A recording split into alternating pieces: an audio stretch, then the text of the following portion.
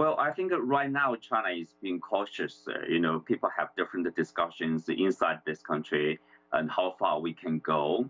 Uh, in particular, with those uh, important projects with huge investment, economic investment over there. I think security is the number one concern.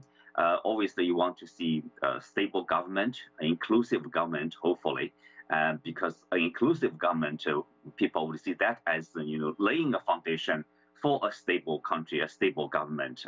And then, of course, China would like to see some actions from the Taliban government uh, against some of the extremist groups in the inside of the country.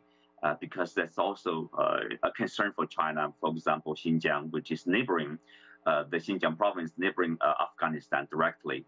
Uh, so people would be concerned about ETIM, whether you know all those fighters have been either driven out of this country or somehow being, let's say, uh, attitudes has been changed. They are not welcome anymore in Afghanistan, uh, or they need to cooperate with the Chinese side to make sure there are no extremist uh, you know, fighters against the Chinese interests, at least from the Chinese point of view. Of course, there are other extremist groups like ISIS-K.